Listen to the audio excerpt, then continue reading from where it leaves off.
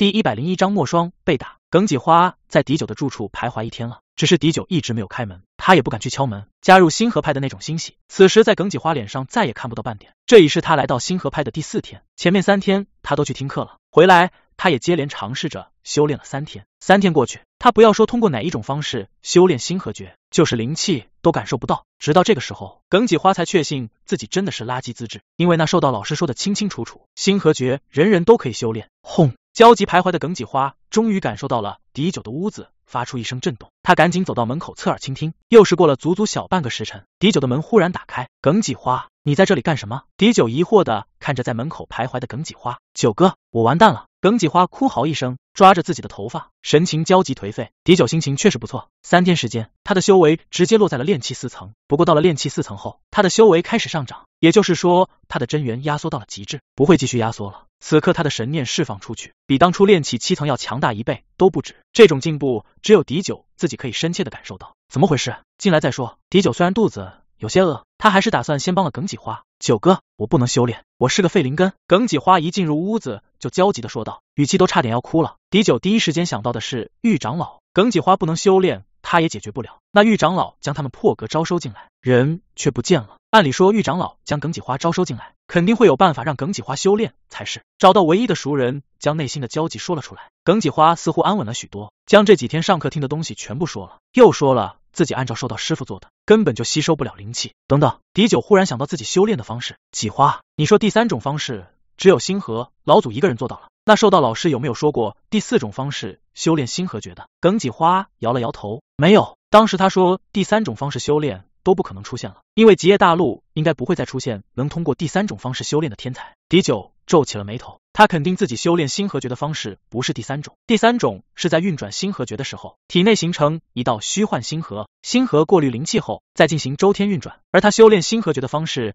是体内形成一道虚幻星空，星空过滤灵气后形成周天运转。狄九在愚钝，星河和星空还是分得清楚的，一个星空可以存在无数星河，可以浩瀚无边。而星河只是在一定范围之内，终究有一个边际。他修炼星河诀后，体内形成星空，可不仅仅是他自己的感官，而是有一种内心深层次的直觉，那就是星空。九哥，我怎么办？耿几花说话的声音打断了狄九的沉思。狄九站起来，拍了拍耿几花的肩膀：“你不用担心，还有三年时间呢。以后我会接一些任务，出去寻找修炼资源，你就跟在我一起去。在这个过程中，我会帮你寻找。”怎么才可以修炼的方法？狄九自己知道自己的事情，在修炼了星河诀后，他需要的灵气恐怖到连他自己都不敢相信。继续留在这个偏僻的屋子修炼，修炼再多年，恐怕也只能停留在炼气中期。想要跨入更高的层次，他必须要去寻找修资源。我听九哥的，耿几花现在是六神无主，根本就不知道应该如何是好。狄九很是无奈的说道：“几花，你好歹也是一个男人，不要什么事情都六神无主，做事有自己的主见。还有，我做主。”将你名字改了，以后就叫着耿几，花字去掉。哦，耿几哦了几下，似乎有什么话要告诉狄九，却又有些不大敢说。一般有什么话直接说，以后别吞吞吐吐，犹犹豫豫。狄九觉得耿几实在是太老实了，这样再修真界可不行。是，耿几小心的说道。前天景墨霜师姐被人打了。狄九一怔，随即有些不确定的问道：耿几，你说墨霜师姐被人打了，怎么回事？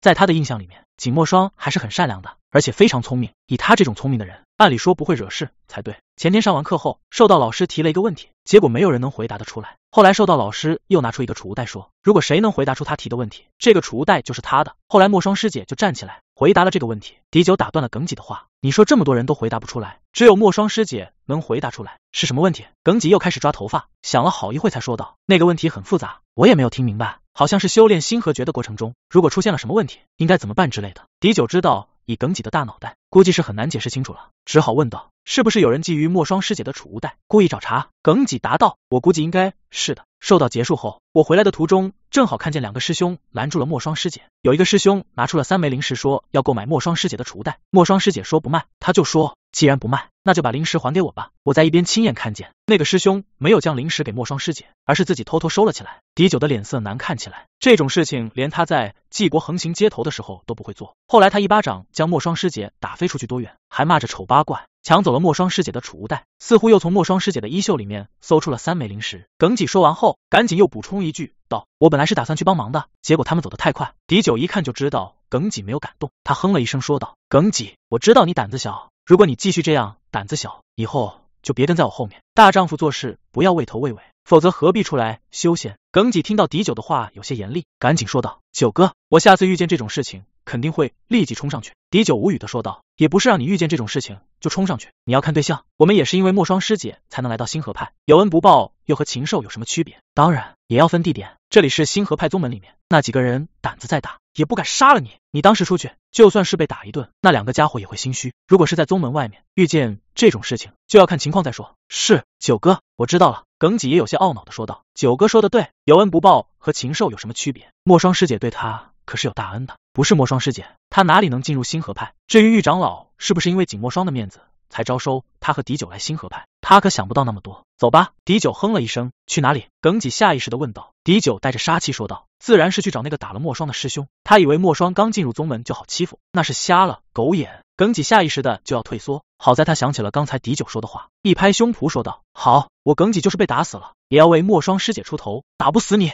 狄九对耿己实在是无可奈何，一个强景墨双储物袋的家伙，最多也不过是练气中期，他现在的实力就不相信干不过一个练气中期的家伙。第一百零二章打抱不平的师兄，那是墨霜师姐。在经过一片外门弟子居住区的时候，耿己突然叫道：“不用耿己说话，狄九也看见了景墨霜。在这片外门弟子居住区的大片空地处，景墨霜正有些紧张的站在这里。这里除了景墨霜，至少还有二三十名外门弟子。九哥，还有抢了墨霜师姐储物袋的那个家伙也在，就是那个穿黄衣的。咦，那个被抢的储物袋好像挂在了中间。耿几总算是开窍了一些，不再叫那个。”抢了景墨双储物袋的家伙师兄了，走过去看看。狄九立即走了过去，在这片空地当中，一个储物袋被挂在中间，除了这个储物袋，还有一小堆零食。狄九略看了一下，至少有三十多枚。在这一小堆灵石边，还有几个玉瓶。陶师兄，这是我身上所有的东西了，我不应该强买墨霜师妹的储物袋。师兄，但有责罚，我全受了。那名身穿黄衣的修士恭谨的说道，语气中透露出惶恐不安。一名身材高大。头顶留着修士髻的男子走了出来，他对那黄衣修士怒喝一声：“滚一边去！你这种垃圾留着我星河派，就是我宗门的耻辱！”这名身材高大的男子说完后，对抱拳对周围拱了一下手，说道：“我星河派讲究的是团结友爱。乔萨作为一个炼气三层的修士，公开抢夺一名刚刚加入宗门的外门弟子，可惜我不是宗门执法人。如果我是宗门执法人，我早就让这种败类。”滚出星河派了！现在我将乔萨的东西收回来，然后归还给莫霜师妹。至于那些灵石和丹药，就算是赔偿莫霜师妹的费用。陶师兄威武！周围的修士一起鼓掌，语气中带着尊敬。第九看见这一幕，还真有些愣神。星河派的弟子居然如此正义，还在意一个刚入门弟子的东西被抢了。被称为陶师兄的男子对周围点点头，这才转头对景墨霜说道：“墨霜师妹，这些东西你拿回去吧。”景墨霜赶紧一躬身，多谢陶师兄援手。我刚刚入门，这个储物袋。就送给陶师兄吧。狄九更是不懂的看着景墨霜，景墨霜刚刚进入宗门，也应该知道一个储物袋的价值啊，本来就是他的东西，为什么要随随便便送给陶师兄？哈哈，陶师兄哈哈一笑，拍了拍腰间的储物袋，说道：“我如果要了墨霜师妹的储物袋，众多的师弟师妹还以为我欧阳桃是为了这个储物袋来的。墨霜师妹就不要为难我了吧。再说储物袋我自己也有的。”景墨霜再次意识里说道：“那我就将我的储物袋。”拿走吧，别的东西我不敢要。说完后，景墨霜就要上前拿储物袋。不等景墨霜拿到储物袋，欧阳桃已经将灵石和两个玉瓶全部装进了储物袋，又将储物袋送到了景墨霜的手中。墨霜师妹，不用担心，我星河派虽是一个二流宗门，但是大家都有爱护助，那就多谢陶师兄了。景墨双手一顿，还是将储物袋收了起来，又感谢了一声。好了，大家散去吧。将来各位师弟师妹有什么事情，都可以去寻找我欧阳桃。欧阳桃一挥手，说话的语气带着一种真挚。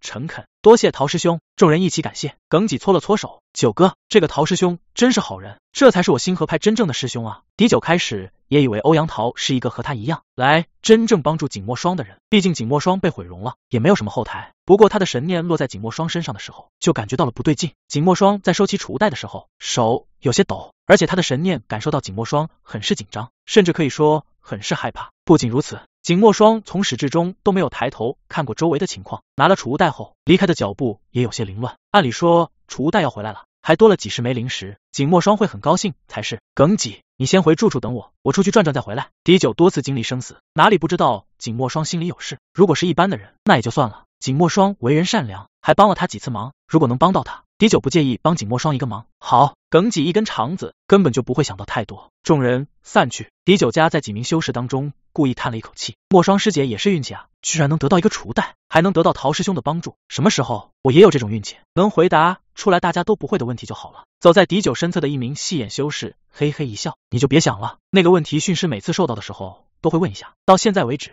只有莫双师妹回答出来了。可见想要好的运气，也要有好的天赋才行。每次都问，狄九没有继续询问下去。他感觉这件事有些古怪。狄九现在神念强大，他漫不经心，远远掉在景墨霜后面。景墨霜的住处并不偏僻，也是在一个外门弟子的居住区。他的灵根虽算不上多好，比起狄九和耿几来说，自然不是一个层次上的，所以居住区也比狄九和耿几要好一些。等景墨霜进入屋子，关上门后，狄九在外面等了好一会，确认没有人跟踪过来，这才落在了景墨霜的屋子后面的。角落处给自己来了几个隐匿禁制，他现在是一个四级阵法大师，哪怕实践的还很少，这随手打出来的隐匿禁制，在这外门弟子的居住区，估计也没有人能看出来。隐匿好自己后，狄九的神念就落在了景墨霜的房间中。景墨霜手中握着储物袋，坐在床上有些发愣，狄九却有些吃惊，他这个时候才察觉到景墨霜身上的灵气波动。按照他的理解，景墨霜至少是一个练气一层的修士了。景墨霜进入星河派才几天时间，就练气一层了，这修炼的速度要多快啊！他可不相信景墨霜和他一样，也获得了那种逆天的灰色石头。这种修炼速度真的是三灵根？莫非景墨霜有秘密被欧阳桃知道了？欧阳桃这才要接触景墨霜。莫约过了大半个时辰，狄九还没有看见那个欧阳桃过来。他有些怀疑自己的判断是不是正确。就在狄九打算进入景墨霜屋子打招呼的时候，一道影子突兀的出现在了狄九的神念中。影子速度很快，转眼就来到了景墨霜的屋子外面。是那个欧阳桃。狄九立即就认出了来人，他没有判断错误。欧阳桃救景墨霜，肯定有别的原因。欧阳桃敲了敲门，声音柔和的叫道：“墨霜师妹，你在吗？”狄九的神念清楚的看见景墨霜的手微微一抖，随即他就恢复了平静，将储物袋挂在了腰间，然后迅速几步将门打开。当他看见是欧阳桃的时候，眼里露出惊喜，说道：“欧阳师兄，赶紧请进。”欧阳桃没有进屋，反而是站在门口说道：“墨霜师妹，我就不进去了。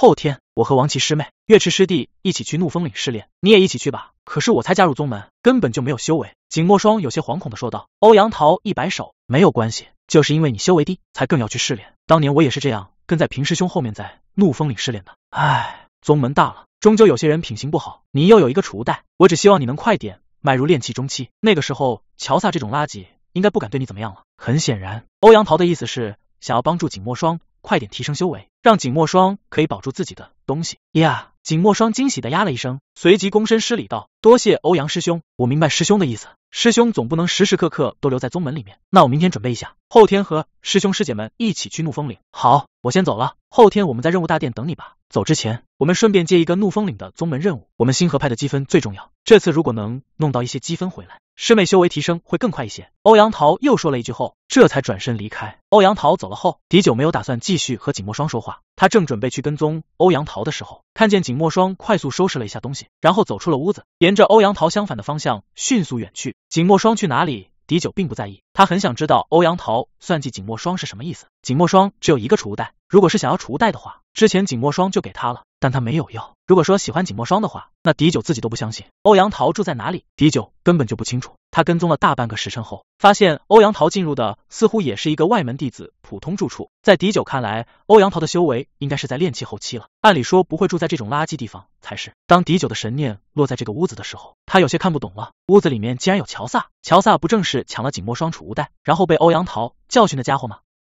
第一百零三章，两个小蚂蚱。桃哥，这个女人丑是丑了点，那身材可真是好啊！乔萨嘿嘿一笑，语气中带着一些猥琐。欧阳桃一摆手，别想这些乌七八糟的事情，这次是毕后，我必定会和我叔爷说，让你加入何金峰。还有你打听的事情怎么样了？乔萨赶紧说道，已经调查清楚了，景家不过是一个小家族而已，家里也没有什么修真者，倒是景家家主景耀在恒毅国做了一个外事令，所以景家还算是有些地位。那景耀也是景墨霜的父亲，景墨霜因为长得丑。性格不好，很不得景耀的欢喜。景耀更喜欢他的两个姐姐景墨雪和景墨冰，他还有两个姐姐。欧阳桃倒是讶异的问了一句。乔萨答道：“是的，他两个姐姐和他关系非常差，听说连话都很少说。”嗯，欧阳桃点点头。过了一会又问道：“那他在星河派还有没有熟悉的人？”倒是有两个。听到景墨霜在星河派还有熟悉的人，欧阳桃不等乔萨将话说完，就急切的问道：“是哪两个？”乔萨明白欧阳桃的意思，嘿嘿一笑说道：“桃哥不用担心，是两个无关紧要的家伙，一个叫狄九，一个叫耿几花。这两个家伙灵根很差，本来根本就进不了宗门的。那是怎么回事？是因为那天玉长老打赌赢了，灰长老心情很好，正好遇见这两个家伙来测试。这两个家伙又正好认识景墨霜，所以玉长老就随口说了一句，让这两个走了狗屎运的家伙加入了星河派的外门。听到乔萨的解释，欧阳桃松了口气，随后又说道：“等这边势必找个机会做掉那个狄九和耿几花。”陶哥放心，两个不能修炼的家伙，你不说，我也会找机会干掉他们。乔萨阴阴的一笑，狄九听了心里大怒，这两个王八蛋，如果他不来听一下，还不知道无缘无故被人惦记上了。咦？欧阳桃忽然低头惊疑了一声，怎么？听到欧阳桃低头疑了一声，乔萨赶紧问道。欧阳桃冷哼一声，看样子这个女人有些怀疑了，她居然去任务大殿接了寻找天童花的任务，应该是想要逃。乔萨，你马上去接怒风岭的任务，既然他一天都不想等，那就成全他。好，乔萨迅速推门出去，外面狄九看得清楚，应该是去了任务大殿的方向。乔萨走后，欧阳桃也是迅速离开。狄九看他去的方向正是离开宗门的地方，这次狄九没有去跟踪，本来他。只是想要调查清楚到底是怎么回事，是不是想要对景墨霜不利？现在欧阳桃要杀他，他可没有半点要避让的念头，要他的命自然是拿命来换。离开宗门，如果时间长的话，就必须要有借口。狄九同样打算去接一个任务，狄九以最快的速度跑到耿几门口，拍了几下，叫道：“耿几，你立即去宗门外面等我。”说完这句话，狄九根本就不等耿几回答，就急匆匆的跑向了任务大殿。狄九刚刚走进任务大殿，就看见乔萨从任务大殿走了出来，看样子。他接到了怒风岭的任务，我接一百零九号任务。狄九根本就没有看任务是什么东西，只是看了一下任务后面完成的期限。一百零九号任务后面完成的期限是半年时间。他出去做了乔萨和欧阳桃之后，最好在外面多待一段时间回来。听那欧阳桃说什么叔爷还能让乔萨去什么合金峰，看样子地位不低，他还是小心点为好。你要接一百零九号任务。任务大殿的女修惊讶的看着狄九，还以为自己听错了。狄九语气有些冲的说道：“有什么问题吗？本来还想告诉一下狄九这个任务。”很危险的。听到狄九这种语气，那女修毫不犹豫的说道：“身份牌拿来，我帮你登记。”狄九交出身份牌，那女修看了一下狄九的身份牌后，更是无语的摇了摇头。区区一个刚刚入门的外门弟子，居然敢接千福宝的任务，这是去找死吗？狄九只希望办得越快越好。任务牌拿到后，毫不犹豫的转身就走。他担心时间长了追不上欧阳桃。九哥，我来了。狄九一到宗门出口的地方，就看见了。等在那里的耿己，我接了个任务，一起出去做任务，弄点宗门积分，回来兑换灵石修炼。狄九一拍耿己，耿己不明白什么意思，加快几步走到狄九身边，低声说道：“九哥，我刚才看见那个乔萨了。”他急匆匆的往那边走了。说完，耿己还指了指广场外面的一个方向：“我知道，我们去找乔萨，麻烦。”狄九加快了脚步。乔萨和欧阳桃显然没有想到会有人跟踪他们出来。狄九和耿几一走出广场，就看见了汇合在一起的欧阳桃和乔萨。九哥，那个欧阳桃很厉害。耿几看见狄九带着他跟着欧阳桃和乔萨，有些担心的说了一句：“他们去追杀莫霜师姐，就是厉害，我们也要追上去。”狄九哼了一声，耿几立即点点头：“对，绝对不能让他们去追杀莫霜师姐。”耿几胆子不大，不过人倒也是有些气概。在狄九有意的暴露下，在离开宗门不远的地方，他和耿几就被欧阳桃发现了。桃哥，我们为什么不用飞行法宝追？见欧阳桃走了半天，也没有祭出那个飞船法宝。乔萨有些忍不住问道：“飞行法宝，很多炼气圆满的弟子也没有的，甚至一些刚刚跨入筑基期的内门弟子也不一定有。”欧阳桃有一个飞船，那是因为他的叔爷欧阳木飞是合金峰峰主。欧阳桃阴阴的一笑：“有两个蝼蚁要受死，竟敢跟踪我，我就将他们带到偏僻的地方埋了。”有一个家伙是耿几花，乔萨也发现了后面跟踪的两人。欧阳桃点点头，看样子另外一个人应该是狄九了。这两个家伙为什么要跟踪我们？会不会发现了？我们是去跟踪景墨霜的，乔萨疑惑的说了一句：“不管是不是，过一会就知道了。”欧阳桃加快了脚步，他们发现我们了。看见欧阳桃加快了脚步，换了一个方向，狄九就知道自己的目的已经达到，至少欧阳桃不会突然用飞行法宝飞走。仅仅大半个时辰过去，欧阳桃就失去了耐心，在一处小山包后面拦住了狄九和耿几。九哥，他们早就发现我们了。耿几后知后觉，被拦住后这才惊醒过来。乔萨。去将这两个小蚂蚱的腿削了，然后拎过来。欧阳桃根本就没有打算自己动手。乔萨领会欧阳桃的意思，他同样没有将狄九和耿几看在眼里，手一张，两道锋刃就丢了出去。在他的眼里，两个刚刚入门还没有修炼过的蝼蚁，在他的锋刃下必定会被砍断双腿。噗噗，四道锋刃在空中碰撞，真元炸的空中一阵阵噗噗声响。怎么回事？乔萨愣了一下。还没等他回过神来，狄九再次抬手挥出了一道锋刃，噗，血光溅开，乔萨被狄九拦腰斩断，跟着就一道火球落在了乔萨身上，乔萨瞬息就被火球裹住，发出古怪气味。乔萨不过区区一个炼气三层，当初狄九炼气三层的时候就可以干掉乔萨，不要说狄九曾经炼气七层，现在修为下降了，实力比炼气七层的时候还要强大，你居然修炼过？欧阳桃大惊，张手就抓出了一柄长剑，长剑在手中一抖。分裂成为十数道剑芒，裹向了狄九。狄九曾经有过一柄上品法器菜刀，他一看欧阳桃的长剑，就知道这是一柄极品法器。九哥，耿几也震惊的看着狄九。狄九抓出那柄下品法器飞剑，飞剑被狄九当成了长刀，一剑劈下。狄氏第三刀，狄氏旋风刀。飞剑卷起一个个剑气漩涡，形成了一圈又一圈的剑气，和欧阳桃的分裂剑芒撞击在一起，咔嚓，剑芒碎裂的声音都清晰可见。狄九却是松了口气，欧阳桃看起来应该是练气后期，他还担心欧阳桃是宗门出来，比他这个散修要厉害。这一声撞击，狄九就知道欧阳桃和他还相差甚远。漩涡剑气将欧阳桃的剑芒全部卷在一起，直接搅碎了欧阳桃的剑芒。狄九修炼过，就够让欧阳桃震撼的了。现在狄九一剑就搅碎了他的剑芒。到了这个时候，欧阳桃哪里还不知道自己根本不是狄九的对手，他立即就要退后。狄九战斗经验丰富，怎么会让欧阳桃走掉？手中的飞剑再次一带，欧阳桃的两条腿被狄九削断，欧阳桃跌坐在地，惊慌的看着狄九，一时间居然没有求饶。第一百零四章找海森林，直到狄九提着飞剑走到欧阳桃面前，欧阳桃才醒悟过来，惊慌叫道：“狄九，你不能杀我！我叔爷是星河派何金峰峰主，你只要杀了我，我叔爷马上就会知道，你就算是逃到天涯海角，也会被追杀。”狄九心里一动，本来他的确是打算问欧阳桃几个问题后就杀掉欧阳桃，如今欧阳桃这样说，他还真的有些顾忌了。这倒也是啊。狄九沉吟起来，欧阳桃听到狄九语气松动，赶紧说道：“是真的，我骗你不得好死。”好像感受到狄九的杀气减弱，欧阳桃从储物袋中抓出一个玉瓶，还没等欧阳桃打开玉瓶，狄九手中的飞剑就又嗡嗡作响。你是不是想要发消息回去？不是，不是，我只是吃一枚疗伤丹药。欧阳桃吓得手一抖，他还真的没有经历过这种情况。进入星河派以来，只有他欧阳桃威胁别人，什么时候有人能威胁他欧阳桃了？你吃吧，吃完之后。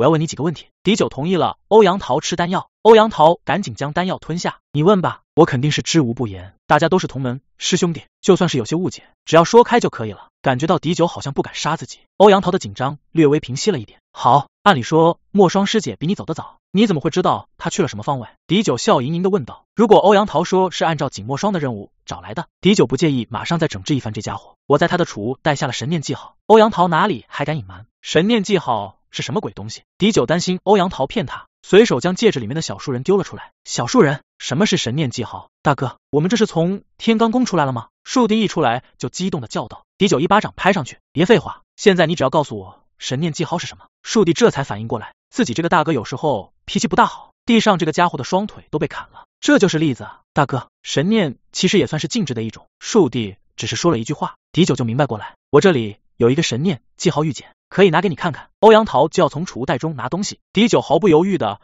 又是一巴掌拍晕了欧阳桃，将他的储物袋拿了过来。九哥，真没想到你打架这么厉害。还有这个小树人是什么东西啊？一边的耿几这个时候才醒过神来，有些激动的说道。狄九抬手又是一个火球，将余下的痕迹烧掉，又挖了一个泥坑将残渣埋起来，说道：有几年时间，我隔三差五的 就和人打架，这东西就是要经验。还有这里不是久留的地方，我们先找一个僻静的地方再说。你叫什么？名字，树地话很多，看见耿几也跟在大哥身后，忍不住问道：“我叫耿几花。”九哥觉得我的名字不好听，就将我改名成为耿几了。你怎么像一个树根？耿几比较老实，有什么说什么。树弟切了一声：“什么像树根？我是仙树化形。”耿几被树弟的话吓住，正不知道说什么的时候，树弟再次说道：“你现在的名字也不咋样。”说了一半，树弟想起了耿几这个名字是大哥起的，赶紧再次说道：“大哥的名字就很好，我的名字叫树弟，仅次于大哥。我建议你。”以后就叫敌石，敌石还马马虎虎吧。耿几摸着脑袋，正不知道怎么回答的时候，看见了被狄九拎进小树林的欧阳桃。九哥为什么不解决了，还要带着一个累赘？这家伙刚才说的可能是真的。这里距离宗门很近，我要杀了他，说不定会被他那个什么叔爷追来。我们就在这里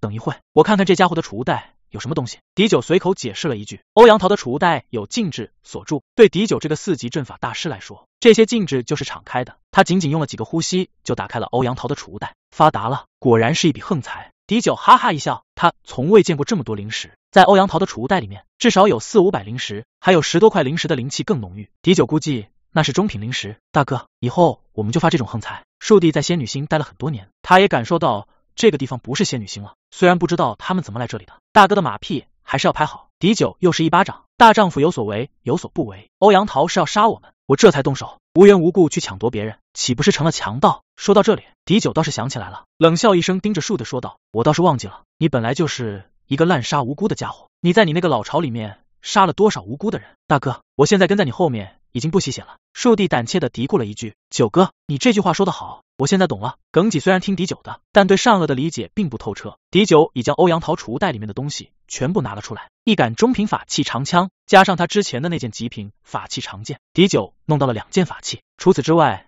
还有几瓶丹药。狄九闻了一下，那丹药应该是帮助修炼用的。狄九没有学习过如何炼丹，他也能感觉到这丹药杂质很多。最让狄九欣喜不已的是一个小小的飞船，这肯定是飞船法器，飞行法宝。在所有的法宝当中是比较珍贵的，炼制飞行法宝的材料比平常的材料少见，对炼器师的要求也比较高，这也造成了飞行法宝较少的情况。我马上炼化这个飞船，你们等一下。狄九示意耿几和小树人一边等着，他开始炼化飞船。仅仅大半个时辰过去，狄九就彻底炼化了飞船。神念驱动间，飞船化为将近两丈长、一丈宽的大船，悬浮在狄九的面前。这是好东西，树敌知道飞行法宝，欣喜的叫道：“上船，我们走。”狄九拎着欧阳桃踏上飞船，招呼了耿几和树弟一声。飞船比起飞剑来要快得多了，而且还稳。九哥，我们现在去哪里？耿吉感受到飞船越来越快，他心里略微有些不安，不是和狄九在一起不安，是因为他不能修炼。狄九刚刚将欧阳桃储物袋中的几枚玉简全部看过，心里已经有了主意，先去找海森林。找海森林距离星河派相对较远，乘坐飞船三天时间到一个小方市，然后再从方市传送到找海镇。找海镇是找海森林最近的集聚地，很多修士在找海森林试炼，然后回到找海镇休息补充。飞船飞行一天后，狄九就将欧阳桃丢到了一个小树林里面，他没有杀欧阳桃。只是掐断了欧阳桃的生机脉，一天后欧阳桃自己会死。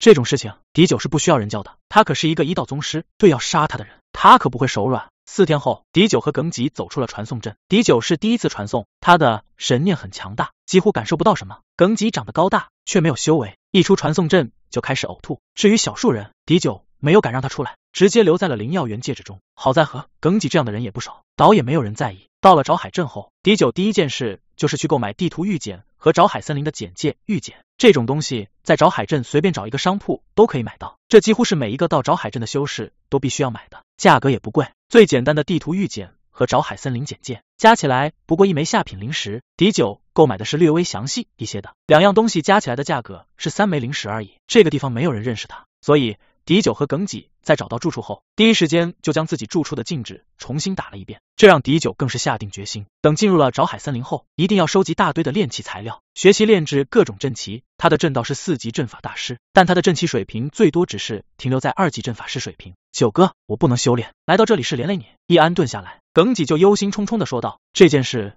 他忧心好几天了。”狄九一摆手：“你不用担心，如果你真的不能修炼，那个玉长老。”就不可能让你加入星河派。等我看了找海森林的情况，再帮助你看看能不能和我一样修炼。他识海中还有一个灰色石头，狄九等会决定借助灰色石头帮助一下耿己。如果灰色石头还不行，那他就四处寻找不纯雷灵根怎么修炼的手段帮助耿己。可那是墨霜师姐，耿己没有说下去。他看见狄九已在研究玉简，他不能修炼，懂得理论知识倒是不少。上了几天课，他自然知道玉简里面记载了许多东西。很快，狄九就放下了玉简，他对找海森林有了一个大致的了解。找海森林说是森林，其实并不完全对，因为这个森林和沼泽交错在一起，很多沼泽一不下心踏进去就会送命，甚至连金丹修士也难以避免。有危险就有机遇，加上找海森林广阔无边，北域无数的低级修士来到这里试炼。第一百零五章菜鸟修炼。九哥，我们要在这里待很久吗？是不是欧阳桃的叔爷会知道我们杀了欧阳桃？见狄九放下玉简，耿己连忙问道。狄九叹道：“没错，他叔爷是封主，应该很厉害。可惜我忘记了一件事，忘记什么了？”耿己问道。“我忘记问欧阳桃为什么要算计景墨霜。我怀疑算计景墨霜的主谋很有可能不是欧阳桃。一旦不是欧阳桃，这对我们不是什么好事。”狄九叹了口气，他的确是忘记了。事实上，狄九对欧阳桃为什么算计景墨霜还真的不在意，也没有放在心上。他刚才想起来，万一不是欧阳桃暗算景墨霜，那他不知道原因，对他来说可是一个隐患。耿己无法帮助狄九什么，狄九忘记的事情，他自然更是没有办法想起来。不说这些了，你先握住灵石修炼，我看看是什么情况。狄九拿出一枚下品灵石递给耿己，好，对耿己来说，最重要的事情就是能不能修炼。没看见狄九修炼过，狄九就可以干掉星河派的老牌师兄，还有那个树敌，看起来也不是简单的家伙，依然要跟在九哥后面。这些都让耿几内心深处更是钦佩狄九。在他的潜意识里面，九哥的能力很强大。如果连九哥都无法让他修炼，那他应该是没戏了。运转星河诀，耿几也不是第一次了。他早就知道怎么运转星河诀，唯一就是他运转星河诀根本就无法吸收灵气而已。狄九的神念一直在耿几身上，耿几运转星河诀的时候，他清晰的捕捉到了。很快他就发现耿几的状况并不是不能吸收灵气，而是耿几吸收灵气后和不吸收是一样的。灵气通过星河诀在耿己体内运转一走后，再次消散在空间中。难道是星河诀不适合耿己修炼？狄九的神念不断在耿己身上观察，甚至渗透到了周天运转当中。一个无知，一个无畏。如果是别的人修炼，有人神念渗透到周天运转中，那修炼者早就走火入魔了。耿己本来就是一个粗神经，而且在他看来，九哥始终是帮助他的。他周天行气的时候是没有半点迟疑和滞顿，接连数个周天，狄九观察下来，没有任何所得。不要说狄九刚刚接触修炼，就算是一个金丹修士来这里，也不一定能查出耿己的问题。狄九伸出一个指头顶在耿己的眉心处，然后说道：“耿己，你只管修炼你自己的，别管我的动作。”耿己和狄九一样，都是什么都不懂，他哪里会知道狄九的动作一不小心会让他子府碎裂，就此成为废人？狄九虽是一个医道宗师，可是修道和医道是两回事，也是不懂，这才敢这样做。耿己周天运转到泥丸的时候，狄九的神念调动了自己识海中的灰色石头，耿己吸收的灵气瞬息间就被灰色石头冲刷一次，然后再次被狄九送回耿己的泥丸宫，继续周天运转。仅仅一个周天，狄九就清晰的感受到这一个周天吸收的灵气化为了真元。狄九很是激动，他赶紧放下了手。耿己依然毫无察觉的继续周天运转。狄九的手指拿走后，他的周天运转依然可以将灵气转化为修为，只是此刻的耿己。完全沉浸在了修炼当中，不知道狄九已没有继续干扰他修炼。这种概率极小的事情，居然成功了。感受到耿己的修为以肉眼看得见的速度提升，狄九抓出一堆灵石放在耿己身边，然后将欧阳桃的材料拿出来。开始炼制阵旗，半天过去，狄九布置好了一个聚灵阵和一个防御阵，这两个法阵都是二级法阵，仅是单独布置好了两个法阵，狄九就明显的感觉到自己对阵道的理解更是透彻。他之前学习了一两年阵道，那都是借助了石海中灰色石头形成的理论知识而已。现在他亲手布置了两个法阵，才意味着狄九真正的成为了一个阵道者。轰！房间中灵气剧烈的波动起来，耿几睁开眼睛，激动难以的看着狄九说道：“九哥，我可以修炼了，我真的可以修炼了。你不但可以修炼了。”修炼的速度比我还要快，这才半天时间，你都练气一层了。狄九都是摇摇头，这家伙的资质实在是太可怕了点。直到现在，狄九才明白为什么那个玉长老要破例收了耿己。谢谢你，九哥。耿己激动的说话都有些不连贯。我现在清晰的可以感受到一种东西，我修炼的时候就好像水到渠成一般。狄九想到了自己修炼的时候，那灰色石头似乎可以帮他破开修炼中的天地规则一般，让他在修炼中不会陷入迷糊。造成停滞不前的感觉。看样子，耿己也是因为那灰色石头，对修炼过程中的理解远远超过一般人。还客气什么？这里有一堆灵石，你要赶紧修炼。我的修炼速度很快的，别到时候被我丢在后面。狄九指了指石头，现在他身上有几百块灵石，他自然要将这些灵石转化为修为，然后再去找海森林。是九哥，我还怀疑我是第三种方式。吸收灵气的，在我的体内形成了一个粗糙模糊的星河，开星河脉的修炼方式。狄九惊异的问了一句，随即他就肯定耿己没有说谎。他通过灰色石头开辟了星河诀的第四种方式，星空脉络的修炼方式。现在他的灰色石头帮了一下耿己，耿己就是开星河脉的修炼方式。看样子自己的这个灰色石头来历太强大。耿己，你继续修炼，还有你开星河脉的修炼方式。不要告诉任何人，知道不？狄九慎重的告诫了一下耿几，万一耿几说漏了嘴，那他狄九这条小命就完蛋了。九哥，你放心，就算是杀了我，我也不会说出去。耿几也不是白痴，他猜到自己之所以开了星河脉修炼，是因为九哥帮忙的。这件事泄露出去，很有可能让狄九陷入危险境地。狄九随手再将树地也丢了出来，护阵都布置好了，大家一起修炼。我这里还有一些辟谷丹，大家饿了就吃一枚。树地一看见零食，眼睛都发光了。耿几一样渴望着。能继续修炼。狄九是之前没有灵石，现在弄到一堆灵石，赶紧要提升自己的实力。三人在聚灵阵中疯狂修炼，灵气很快就在房间中形成了漩涡。狄九没有什么经验，随着时间推移，这种修炼动静，别人想要不看见都不大可能。来找海镇的人几乎遍布了整个北域州，甚至其余几个域州也有人来，但石找海镇的势力却并不凌乱。在整个找海镇只有五大势力，这五大势力分别是陇蒙丹药、金翼法宝、七家商楼、找海威家。散修会馆，按照道理说，找海镇来的人大都是散修，或者是零散的各大宗门外门弟子。散修会馆的实力应该最大才是。事实上，找海镇实力最大的是七家商楼。七家商楼并不是找海镇本土势力，传闻是整个大陆最顶尖的商楼之一。这家商楼在吉野大陆的任何一个边角也会有自己的商楼存在，哪怕是在找海镇这种鸟不拉屎的地方，七家商楼也有一个金丹修士坐镇。要知道。金丹修士在一般的宗门，那都是长老的存在。此刻在七家商楼的少主人是七少，炼气九层圆满，甚至可以说是半步筑基。在找海镇，炼气圆满算是强者了。七少也属于七家嫡系，之所以一直留在找海镇不走，是因为他发现找海镇这个地方虽没有什么顶级宝物出现，却对他现在的境界修为特别有帮助。他刚刚来找海镇的时候，不过是炼气六层，这才一年时间，他就来到了炼气九层圆满。哪怕是在宗门修炼，估计也没有这么快。若要通过筑基丹冲击筑基的话，他早就筑基成功。七少到现在为止没有筑基，一个是因为他想要不通过筑基丹筑基，第二想要稳固自己的根基。作为一个大家族出来的弟子，自然知道。筑基丹筑基和不通过筑基丹筑基的区别有多大？在七家商楼灵气最浓郁的房间，七少正在研究一枚刚刚获得的法器玉简，一道讯息就出现在他的通讯珠中。找海镇的散修西站中出现了灵气漩涡，听说是两个刚刚来这里的低级散修弄出来的动静。刚来这里的低级散修可以修炼出灵气漩涡，七少立即就站了起来。他来自七家商楼，自然知道灵气漩涡是怎么回事。七家在找海镇的金丹护法万能，修炼的时候也无法弄出灵气漩涡，必须要去看看。是怎么回事？第一百零六章胆大包天。一般的炼气修士，如果节约一点用的话，四五百块灵石要用好几年时间。狄九和耿己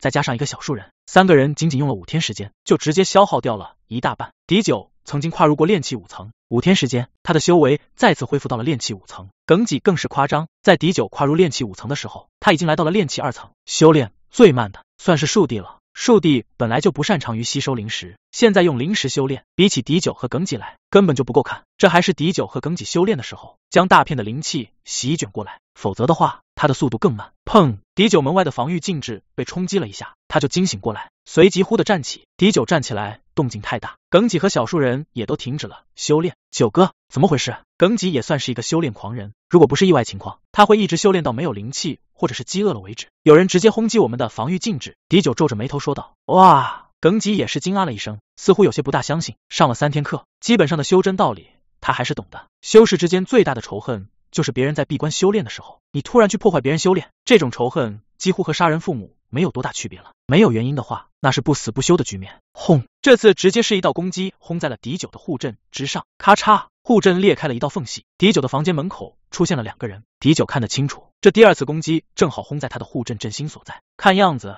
这攻击的家伙也是一个精通阵道的。我在这里闭关修炼，和两位无冤无仇。两位，这是什么意思？狄九将欧阳桃的那柄长剑抓在了手中。耿己炼气二层，还没有修炼什么法技。狄九并不指望他能帮忙。我叫七少，来自找海镇七家商楼。至于为什么要轰破你的护阵，我以为你应该知道原因呢。我扣了几次禁制，你都没有反应。七少来轰击狄九护阵之前，就打听过狄九的情况。两个刚刚来这里的外来修士，一个只有炼气四层，一个似乎没有修炼过。现在看来，狄九也不过是炼气五层，另外一个看样子还在炼气二层，境界还有些不稳。咦，树灵？狄九还没说话。七少就看见了狄九背后的树底，眼睛立即就冒出了火热的光芒。一个古树树灵化形，哪怕是认主过的，也是无价之宝。哈哈哈，果然是被你偷走了。我说我七家商楼刚刚在找海森林弄到的树灵去了哪里？原来被你这两个蝼蚁偷到这里来。七少哈哈大笑，眼里的惊喜完全无法抹去。散修联盟的伙计看见围观的人很多，赶紧大声说道：“各位客人，这两个客人在我西楼修炼。”布置聚灵阵影响了别人，我本来想要提醒他们，没想到他们胆大包天，还敢偷走七家商楼的树灵。七少寻到这里来了，然后扣了几次门口禁制都没有反应，七少这才打破了禁制。现在这树灵果然在里面。狄九反应过来，他布置护阵的时候将西楼的禁制屏蔽了，所以有人在外面扣禁制的时候他是听不到的。不过无论如何，将他的护阵打破都是生死大仇，你们最好现在。跟我一起去七家商楼，将事情说清楚，否则别怪我现在就动手。七少说话的时候，气势直接释放出来。树地还好，他又不是第一次见识到这种场面，倒是耿几被压制的后退了数步。你家是开商楼的？狄九忽然问了一句毫不相干的话，七少又是哈哈一笑，你说对了。我家是开商楼的。大笑中，七少一张手，一柄斧头就出现在他的手中，斧刃散发出一丝丝让人肌肤都战栗的杀气。七少最自豪的就是他和七家其余的弟子不同，七家其余的人都是做着家里修炼的花朵，他的实力大多数是在找海森林里面厮杀而来。尽管他进入找海森林的时候，身边也有人护卫着，但在他没有危险的时候，那可都是他自己厮杀对付敌九这个炼气中期的家伙。他还不需要斧头，之所以拿出斧头，那是威吓。似乎被七少的斧头吓到，狄九赶紧伸手止住了七少的动作，不要在这里动手，我们和你一起去你的商楼，顺便也开一下眼界。七少很是满意的点点头，不错，有些相识。狄九呵呵一笑，既然如此，那还等什么？带路吧。听到狄九的话，七少倒是诧异的又打量了一番狄九，确信狄九炼气五层也没有什么危险，这才哼了一声，转身就走。跟随七少一起来的那名修士却是盯着狄九和耿己，直到狄九和耿己带着树的跟在了七少后面。他。才走在了最后。人群中都是一阵唏嘘，谁都知道狄九这一去就会失踪不见。一些经常在找海镇打拼的修士都摇了摇头，在他们看来，狄九是自己不知道死活。七家商楼在找海镇的确是地位很强，不过只要你不惹到他们，不要暴露自己的宝物，一般情况下，七家商楼也不会无缘无故找到你头上来就是。狄九带着耿己、树第一走进七家商楼，眼睛就亮了。七家商楼外面的牌子，狄九不在意，可是七家商楼里面的东西对狄九来说，简直就是一个宝库，丹药、功法、法宝、材料、灵草。狄九的神念扫到二楼，他发现二楼的东西更好，而且他发现这里没有强者，甚至连一个筑基修士都没有，修为最高的就是眼前的这个七少。在狄九看来，七少应该是炼气巅峰了。如果他没有修炼星河诀之前，狄九还怀疑自己是不是七少的对手。现在他心里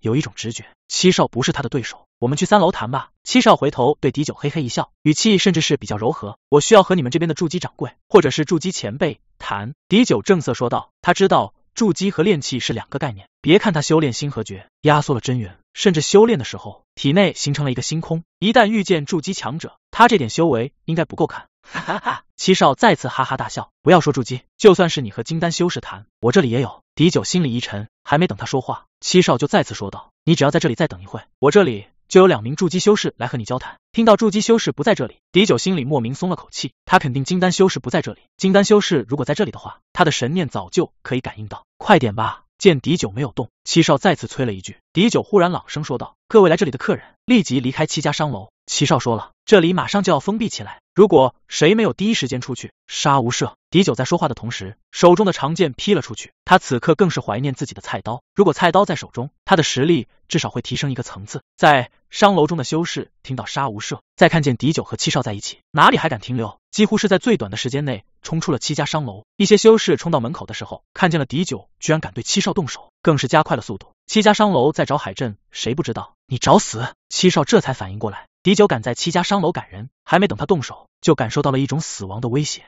七少好歹也是炼气圆满，他在瞬间就知道狄九在暗算他。此刻他被狄九这个蝼蚁气疯了，区区一个炼气五层，不知死活，敢在七家商楼暗算他。没等七少祭出自己的巨斧，狄九劈下的剑气就化成了恐怖的刀式空间劈落下来。狄九一出手就是他的第四刀风萧刀，噗！哪怕七少反应够快的，两道化为刀气的剑芒也是直接穿过了他的腰际，两盆血雾炸裂出来。狄九心里暗自震惊，这家伙反应还真够快的。他突然偷袭之下还没有干掉，我不将你挫骨扬灰，我就不是七家子弟。七少已祭出了巨斧，他丝毫不顾自己的伤势，盯着狄九，几乎是一字一句的说了出来。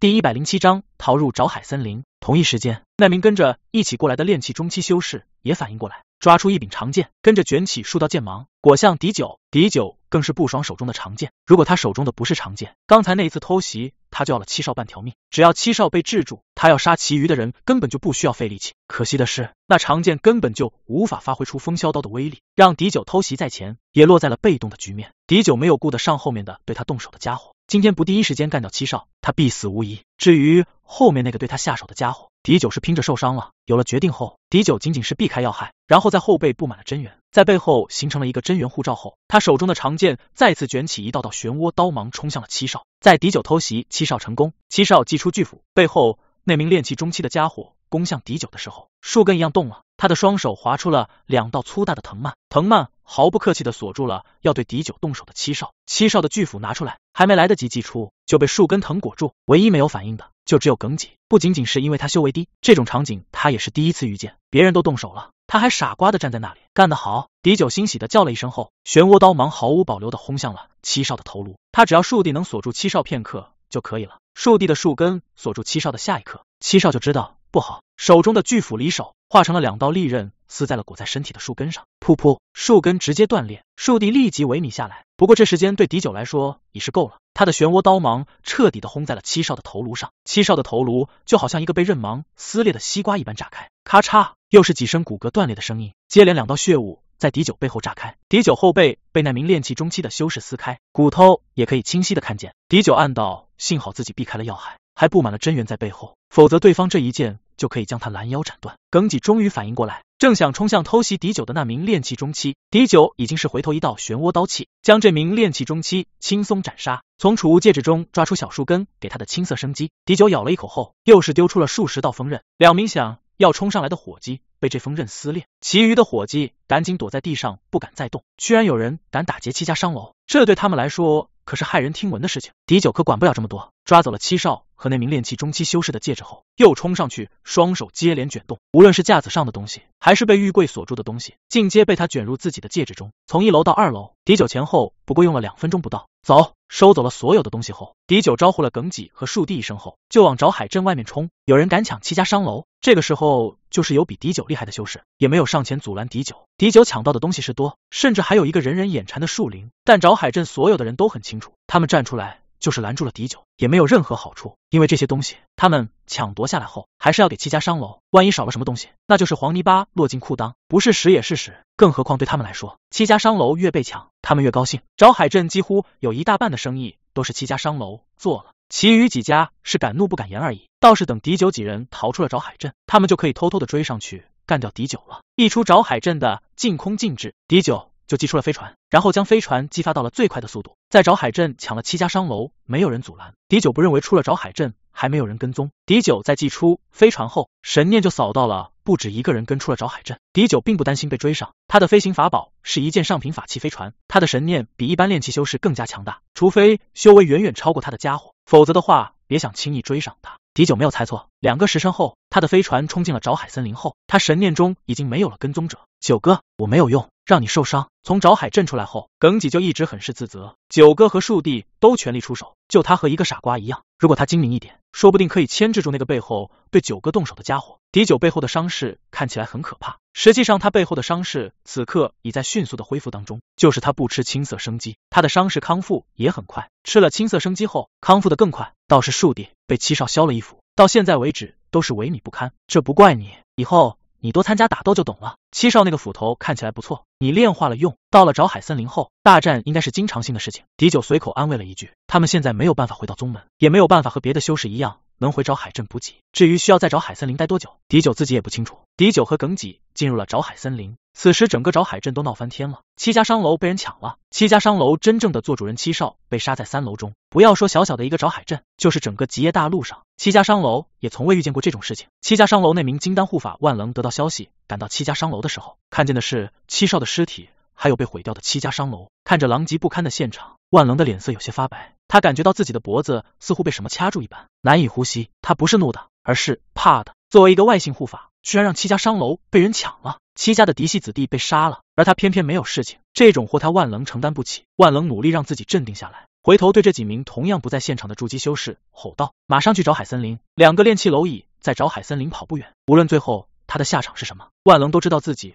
必须要尽快将几个肇事者抓起来。也许这样。”他万能还有一线渺茫的生机，七家商楼的护法一直是最好的差事，没想到到了他这里就出了漏子，不好，我们赶紧下来走。找海森林里面不能控制飞船飞行，在飞船飞行了大半天时间，狄九这才拿出了找海森林的预检查看，在查看了预检后，他第一时间就知道他又干了一件蠢事。找海森林里面不能飞行，正在控制飞船的树地却说道：“大哥，我知道，不过我有一种天生的预感，我知道哪边有危险，哪边。”咔嚓。树地一句话还没说完，一种扭曲的力量就将飞船的船尾搅碎。迪九根本就来不及说话，直接抓着耿几和小树人从空中跳了下来。好在此刻飞船飞行的并不是特别高，加上迪九真元鼓动在体外，哪怕他还不会御风法术，也是有惊无险的落在了地上。怎么回事啊，大哥？树帝也是惊慌不已，他看见刚才三人乘坐的飞船已经消失的无影无踪。迪九后怕的说道：“只能说。”我们几个还有些运气，在找海森林上空根本就不能飞行，我们居然飞行了大半天时间才出事情。在找海森林上空到处都是空间刃芒，而且还有空间海和一些古怪的妖兽，这些随便遇见一个也是化为灰渣的下场。什么是空间海？耿几抓住巨斧，他还没有炼化这柄斧头，我也不知道，只知道一旦陷入空间海会被空间力量裹住搅碎。狄九说道，他这些都是从刚才那个预检中看见的。树帝有些不好意思的说道，我还以为凭借我的直觉。没有事情，幸好大哥及时出手。迪九说道：“我们能在这里飞行大半天时间没出事，估计也和你的直觉有关系。刚才我们遇见的很有可能是空间刃芒，好在那空间刃芒是从侧后方搅过的，让我们逃了一劫。这里我怕已经算是找海森林深处了，这还不够，后面树地带路，我们继续往里走。”第一百零八章七加元魂老祖找海森林之所以得名。其一是因为这里大多地方都是树木密集的森林，无边无际。其二，这里的森林和别处不同，在找海森林随便一处地方都可能是沼泽海的一部分，看起来毫无异状的地方，你一脚踩下去，可能就是一个隐藏的沼泽。一旦踏入隐藏的沼泽，很难逃出来。如果不是树地对危险很是敏感，狄九和耿几不知道陷入沼泽多少次了。有了树地，他们三个这一路上只是遇见了一些妖兽，没有陷入危险境地。就算是这样，在走了两天后，耿几依然陷入了沼泽之中。明明是一块巨大的石头，耿几只是踏上了那巨石而已，那块巨石瞬息间就消融不见。转眼间，耿几周围全部是沼泽浆，耿几炼气二层，根本就没有任何办法从这泥浆中爬出来。狄九尝试的踏上飞剑飞行。结果和预检上介绍的一样，沼海森林形成的沼泽中根本就无法飞行。不仅如此，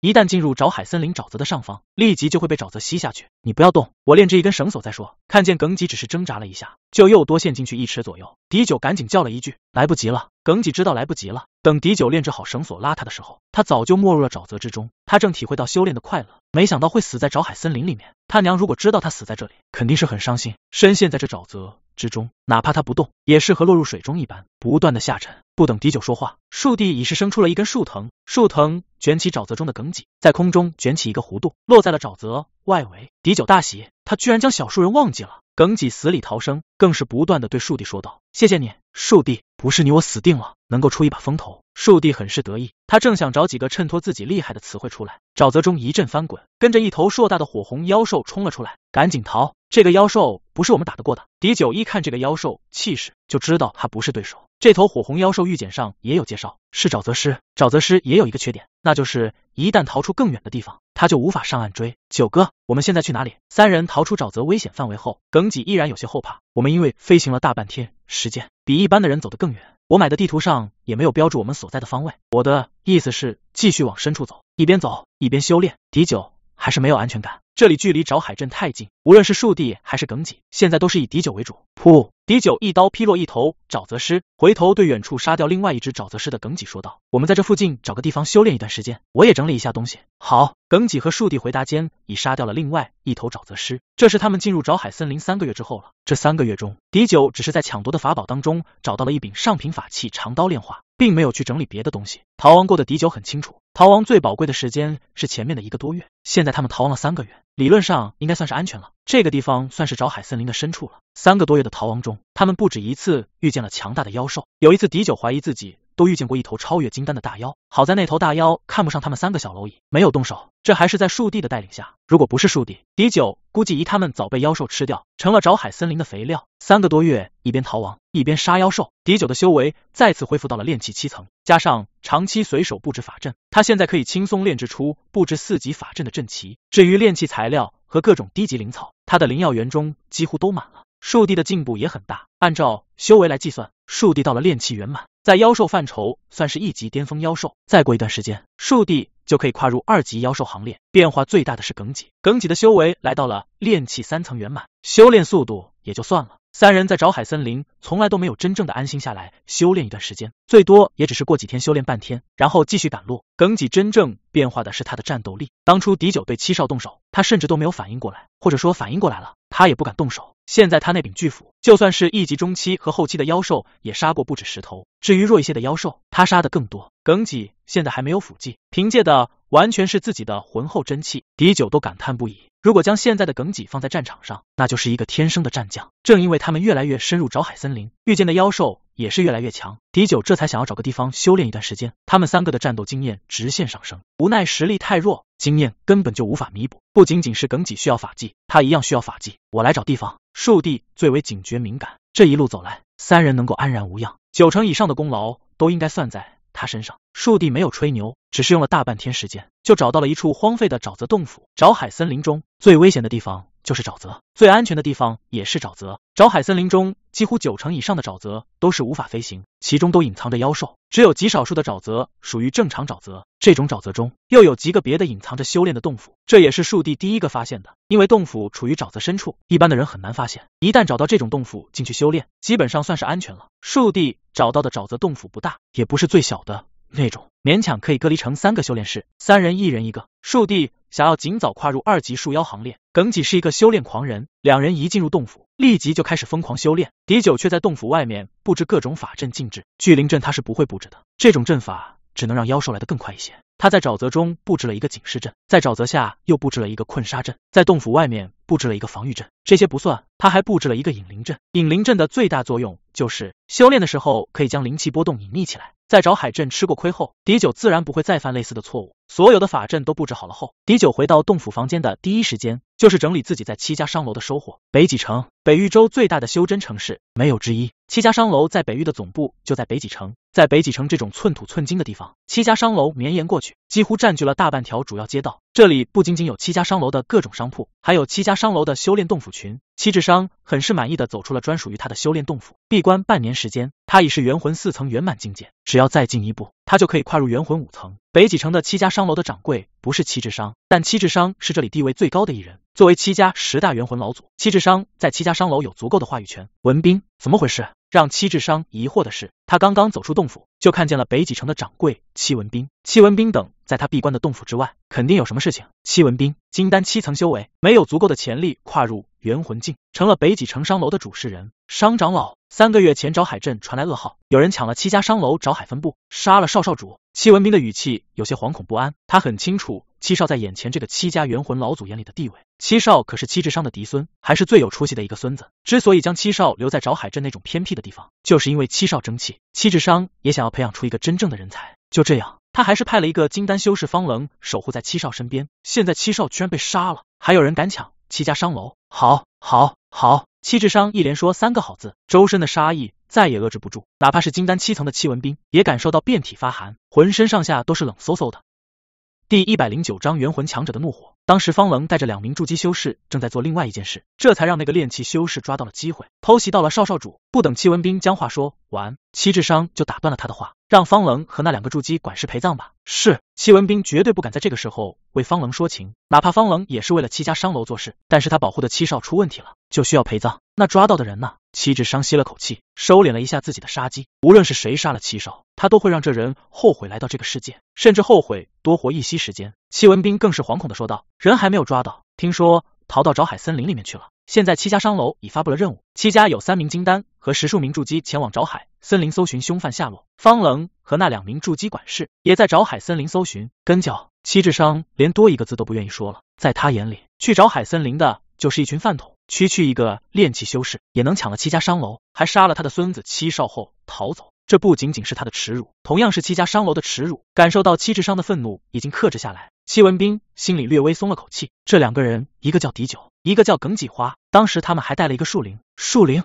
七智商惊声重复了一下，他完全明白了冲突是怎么回事了。树灵这种东西，哪怕是远远没有化形的，对七少的作用也是无与伦比的。七少一直想要不用筑基丹筑基，他很清楚，如果七少能得到树灵，绝对能铸成顶级根基，那样发展潜力比一般的天才弟子。强大太多了，这更是让七智商要将狄九和耿几花抓来，慢慢的折磨死。至于七少是不是想抢夺别人的东西，对他来说都不重要。七家有这个资格，七家也有这个能力。七少可以抢夺树灵，但是你不能动七家的人。这就是他七智商的强者理论，在极夜大陆，强者理所当然的要被尊敬。戚文斌应道，的确是树灵，应该还是一个一级树灵，估计是认了那个狄九为主。狄九来历不明，到现在为止没有查到，只知道他偷了恒毅国钟家的东西，被钟家抓到，然后代替钟鹤天入赘到了景家，给景墨霜。景墨霜将他带到济川城后分开。第二天在宗门招收弟子的时候，景墨霜三系灵根被星河派收为外门弟子。狄九和耿几花。因为资质太差，没有宗门收录。结果星河派的长老玉金燕看在狄九认识景墨霜的份上，破例收了狄九和耿几花。哼！齐智商冷哼一声，你认为玉金燕这种老东西会因为一个三系的外门弟子破格录取两个资质差的家伙吗？还有一个资质差的家伙能在入门短短几个月时间就杀了七少，看样子那两人本来就是修炼过的散修。戚文斌赶紧说道：“商长老，狄九和耿几花去找海镇的时候加入宗门。”不过数天时间而已。当时他们入住的是散修西站，入住进去的时候，狄九是炼气四层，耿几花似乎还没开始修炼。等五天后，少少主找过去的时候，那狄九已是炼气五层，而耿几花是炼气二层的修士。戚智商心里愈发肯定，狄九和耿几花身上有大秘密，这两个蝼蚁他必须要抓到手中，逼问个透彻。你继续说。是。戚文斌也猜到狄九和耿几花身上有秘密，他倒是也没有多在意。炼气修士身上的秘密。能有多大？那耿几花来自一个偏远的小山村，叫着荣一村。耿几花有一个母亲，一个弟弟和一个妹妹，村里都叫他母亲七娘。他的弟弟叫盖武，妹妹叫盖英。戚智商打断了戚文斌的话，你是说耿几花和他弟弟妹妹不是一个姓？戚文斌恭谨的答道，是的。据说耿几花和盖武、盖英是亲的。在耿几花去寻找仙门后，耿几花的母亲七娘就带着盖武和盖英离开了荣一村。不知所踪。我们的人已经将荣一村抹去了。说到抹去荣一村的时候，戚文斌就好像在说喝了一杯水一般的轻松简单，没有半点在意。戚智商显然也不会在意这件事，他反而点点头。那景家如何处理的？之所以没有询问星河派，他知道星河派这种门派，应该是他带头过去才对。景墨霜有两个姐姐，一个叫景墨雪，一个叫景墨冰，他们拜在了真离剑派半剑锋锋主顾子剑的门下，所以戚文斌的话没有继续说下去。戚智商明白了他的意思，他皱了皱眉头，过了好一会才说道：“我去一趟星河派，真离剑宗可是北域州第一大宗门，虽然戚家的实力不会比真离剑宗弱，可也不能随随便便挑衅到真离剑宗。更何况这件事和景墨霜其实真没有什么关系。既然景家和真离剑宗有关系，那景家就暂且作罢。不过星河派绝对不能放过了。狄九和耿几花可是星河派的弟子，星河派的弟子杀了他戚家的嫡系子弟，这件事没有完。这边已安排了五名金丹和商长老一起去星河剑派。岂止商一摆手，不需要。区区一个星河剑派，我一个人过去就行。星河剑派不过是二流宗门，听说星河剑派的第一太上长老在百年前就闭关冲击元魂境，百年过去了，依然没有任何消息，估计是陨落了。况且就算是星河派那名太上长老跨入了元魂境又如何？他七智商只差一步元魂五层了。星河派宗门议事大殿中，此刻是坐了至少二十人，除了宗主向天一之外，五内封封主、六外封封主、几名殿主。进阶都在这里。这次极夜天虚战场事发突然，我星河派允了两名金丹，玉长老也重伤。然而最后战利品分配上，我星河派几乎是收获最小，可见没有元魂强者，我们根本就没有话语权。我决定这次无论花费多少代价，我星河派都必须要去寻找一枚魂元果。我星河派必须要有人跨入元魂，这才能在极夜大陆有话语权。向天一语气很是凝重。这次极夜天虚战场，他亲自带队去的。星河派付出了这么多代价，结果只能捡一些别人挑剩下来的东西。众人都没有说话。魂元果是什么东西？能坐在这里的没有人不知道，那是炼制凝魂丹的主要灵草。凝魂丹就是金丹修士跨入元魂修士必须要的丹药。轰！在向天一想继续说的时候，宗门大阵发出一阵剧烈的抖动。向天一脸色一变，忽的站起。大殿中所有的金丹修士也都是震惊站了起来。这是有人在攻击宗门护阵，攻击宗门护阵。可不是小事情。如果一个宗门护阵被攻击，就意味着生死大仇。所有的金丹修士跟随我守护宗门。向天一的神念看见了攻击宗门大阵的来人，一个瘦高个、留着山羊须的中年男子。他从这男子身上感受到了一种强者的威胁，这不是对他的威胁，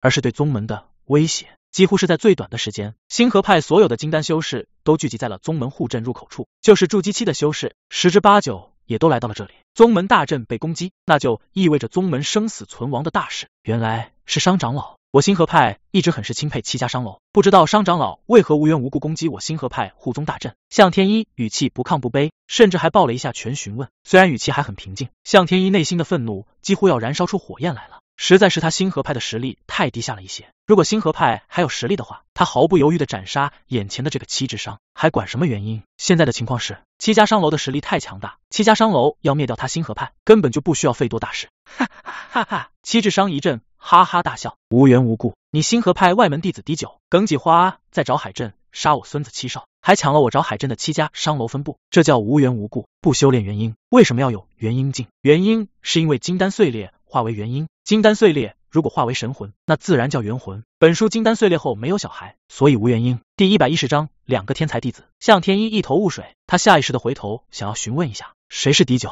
果然是他们杀了我侄孙。向天一没有等到回答，却听到了欧阳慕飞咬牙切齿的一句话：“欧阳峰主，谁杀了你侄孙？”向天一更是不解了。欧阳慕飞对向天一施了一礼后，这才恨声说道：“就是七家商楼的商长老，刚才说的狄九和耿几花，这两人无法无天，刚刚进入宗门就暗算了我侄孙欧阳桃。他们杀了欧阳桃后，抢走了欧阳桃的东西，除此之外，还杀了乔萨。欧阳桃被杀后，欧阳慕飞就查了当天的一切记录。乔萨领了一个怒风岭的任务，任务记载的是欧阳桃和乔萨去跟着乔萨之后，领了任务的是狄九，狄九的任务是千福宝。”记载的是狄九和耿几花一起去完成。狄九和耿几花不过是刚刚加入宗门而已，哪怕是跟随欧阳桃前后脚出宗门，也被欧阳慕飞排除在外。这两人没资格暗算他侄孙欧阳桃。现在看来，他排除在外的狄九和耿几花，还真是杀害他侄孙的人。这不可能，那狄九和耿几花是我招收进来的，他们根本就没有修炼过，什么修为都没有，如何可以杀得了欧阳桃？更不可能去找海镇，对少公子无礼。玉金燕赶紧说道：“狄九其实已经修炼过，只不过那个时候。”他经脉都断了，玉金燕又没有仔细去看，当时并没有看出来狄九修炼过，到底是怎么回事？向天一也感觉到了这件事有些不对劲。玉金燕解释道：“当初我星河派招收弟子的时候，我正好去了济川城，狄九和耿几花资质很差，没有宗门要，加上当时我打赌赢了。灰长老心情不错，所以看在狄九和耿几花认识星河派刚刚招收的弟子景墨霜的份上，就破例收了他们两人为外门弟子。当时他们的确是没有修炼过的。玉金燕说完这句话后，同时传音给向天一宗主，其实那耿几花的资质可能是万年难得一见的异彩纯雷灵根，而不是不纯雷灵根。狄九灵根测试出来是纯黑色，我怀疑也是一种从未在极夜大陆出现的灵根。如今极夜大陆动荡不安，我星河派一天不如一天，如果再找不到天才弟子加入进来，如今天这种事情以后。恐怕很多，甚至有一天我星河派会灭门。可惜的是，我当时收到了宗主在极夜天虚传来的急报，赶紧去了极夜天虚。回来的时候，我准备亲自去收他们为弟子的，因为宗门大会一直没有去。向天一心里一惊，如果真的如玉经验说的，狄九和耿几花从来没有修炼过，加入宗门两三个月后就能杀掉七家商楼的少主七少，又可以杀掉欧阳桃，那这两人已经不算是简单的天才了。如果真有这种弟子，他向天一就是拼了这条命，也不能让这两个天才弟子落在七家商楼手中。这还是向天一不知道，狄九和耿几花杀七少是三个月之前的事情，他还以为狄九修炼了几个月后才杀的七少。哈哈哈！七智商发出一阵的狂笑，他的脸上没有半分笑意，周身更是杀气涌动。果然是如此，向天一，看在你是一宗之主的份上，我给你一个选择，将狄九和耿几花交出来。玉经验自尽，你解散星河派。如果说交出狄九和耿几花的话。还有余地的话，那七智商后面的话就是真的打算灭掉星河派了。向天一深深的吸了口气，语气平缓的说道：“我星河派虽弱小，也不是任人欺凌的存在。七家商楼的确比我星河派强大。如果没有任何正当缘由，就要随便杀我星河派的弟子，我星河派绝不屈服，战斗到底而已。找死！”七智商周身的杀势席卷开来，一柄坤云斧被祭出，强大的斧意瞬息间就将在场所有的金丹修士笼罩起来。他却是没有劈出坤云斧，而是一拳轰出。这一拳是针对的金丹长老玉金燕。砰！在其他金丹修士被困住的时候，玉金燕哪怕祭出了防御法宝，本来就重伤的他也无法挡住七智商的这一拳。七智商仅仅一拳，就让玉金燕肉身炸成血雾。杀！我星河派。只有战死的宗门子弟看见玉金燕被七智商击杀，向天一牙自愈裂，疯狂的祭出一柄长枪扑向了七智商。除了欧阳木飞假装抵挡斧头杀意无法冲上去之外，此刻星河派所有的金丹修士都祭出了法宝，疯狂的攻击七智商。星河派护阵外面的杀阵也被开启，一时间整个宗门外面。杀气四溢，各种法术不断炸开。星河派没有元魂修士，哪怕是借助杀阵，也接连有三名金丹修士被杀。加上玉金燕，星河派短短时间陨落了四名金丹修士。在向天一也被劈落一条胳膊后，七智商终于被向天一一枪轰在了腰际，射出一道血溅。七智商一声怒吼，他以为自己一个元魂四层圆满的强者来这里杀一些金丹蝼蚁，根本就不费什么力气。没想到向天一如此疯狂，敢冒着星河派所有人被杀的后果，带领星河派的金丹修士和他拼命。今天他不将星河派彻底灭掉，他七智商枉自修炼到元魂，狂暴的斧意开始凝聚，七智商周身更是弥漫着一种暴力的杀势。向天一一颗心沉到了谷底，哪怕这里有星河派的杀阵，奈何星河派的力量和七智商比起来还是太弱了一点。星河派灭亡了，他今天也必定要杀掉七智商这个匹夫。轰！就在这个时候，一道强大的狂暴气息冲天而起，这道气息是从星河派宗门深处爆发出来的，似乎有一种怒气在酝酿。暴怒的七智商立即就感受到了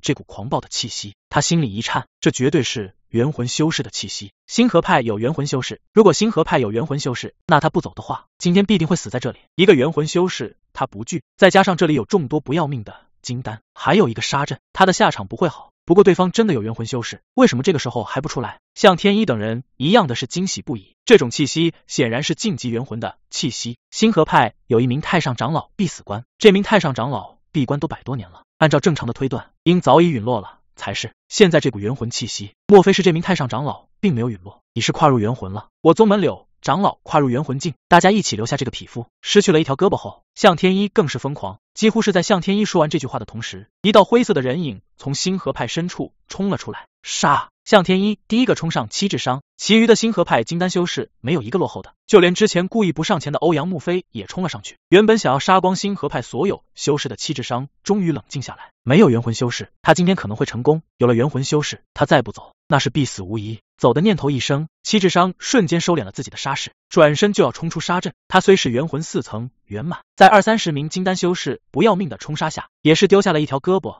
才退走。不过临走之前，他也在杀掉了一名金丹修士。对一个元魂修士来说，丢下一条胳膊，如果马上接上去，损失并不大。七智商丢下一条胳膊后，并没有能带走这条胳膊，他的实力将直线下降。以后的日子，不要说冲击元魂五层，就是保持在元魂四层，也要花一番手脚。至于冲击元魂五层，如果他有生之年没有更好的机遇，恐怕也只能停滞不前了。现在对他来说，最迫切的不是去追杀敌九了，而是去寻找天才地宝，修复自己的断臂。七智商一退走，一名灰衣老者。就落在了众人面前。柳太上，恭喜柳太上跨入元魂境！所有的金丹修士纷纷上前问候。尽管这一战星河派失去了五名金丹，向天一失去了一条胳膊，但如果宗门出现一名元魂修士，那也值了。刚走的是七家的七智商，灰衣老者看着七智商离去的方向，沉声问道：“向天一的胳膊被七智商绞碎，无法接上，只能单手施礼。”是的，正是七家商楼的七智商。他隐约感觉到柳太上虽然跨入了元魂，但精神气似乎并不好，这里面恐怕有些问题。而且更让他担心的是，他没有看见柳太上的雷劫。我们要不要封闭山门？一名金丹修士有些担忧的说了一句。封闭山门，数十年后，我星河派依然会灭绝。我星河派如果不能轰轰烈烈的活着，那就轰轰烈烈的死去。如此，何必封闭山门？向天一毫不犹豫的说道。灰衣老者点点头，向宗主说对，封山门，他们还以为我星河派怕了。这件事不用在这里说，先回宗门大殿。